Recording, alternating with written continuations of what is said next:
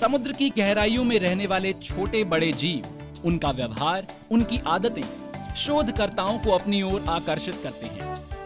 समुद्र के किनारे पाए जाने वाले शंख और सीप देखने में जितने खूबसूरत हैं, इनके अंदर रहने वाले जीवों के जीवन से जुड़े पहलू उतने ही रोचक डॉक्टर देवप्रिया चट्टोपाध्याय और शिव ज्योति दास की अध्यक्षता में बनी आयसर कोलकाता की तीन सदस्य वाली टीम ने एन तिगरीना स्नेल के शिकार करने के विभिन्न पहलुओं पर स्नेल की भूख के प्रभावों का अध्ययन किया है।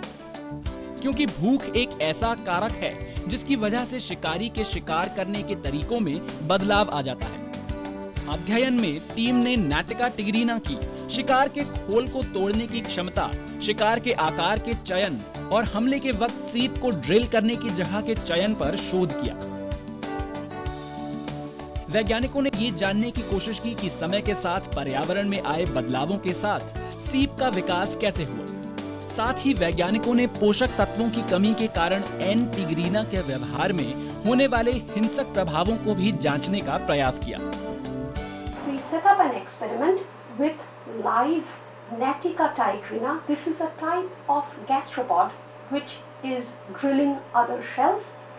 We provided the natural prey to it, which is another clam shell, and we varied different conditions and tried to understand at which condition do they attack each other rather than going after the uh, bivalves, which are their usual prey items.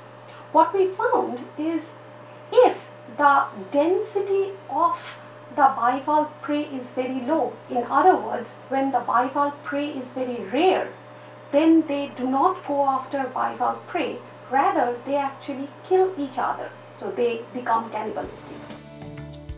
Natica tigrina या N tigrina एक मांसाहारी snail है जो खासतौर से cardium प्रजाति के खोलदार mollusc को अपना शिकार बनाता है शिकार को खाने के लिए ये उसके खोल पर हमला करने का अभ्यास करता है मोलस्क पर ये दो तरीकों से हमला करता है यांत्रिक और रासायनिक नाटिका के पास दांतों का एक सेट होता है, जिसे रेड्यूला कहा जाता है। और एक सहायक बोरिंग अंग होता है, जो मोलस्क के खोल को गलाने में मदद करता है।